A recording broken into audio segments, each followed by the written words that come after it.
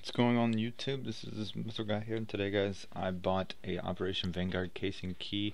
Uh, the price was lower than actually buying a key on the um, main menu here. If you look, if we can find these suckers right there, new one, 249. I actually got it for 236. Not bad, 12 cents, well, 13 cents under. Um, but other than that, I actually thought it was a uh, pretty good buy. I bought a case for like it was um 12 cents so that's not bad either especially since this operation was recently released too so I'm gonna go ahead and open it. I just wanted to kind of create this video to show how crappy sometimes you can get skins. Okay there we go M4 Griffin.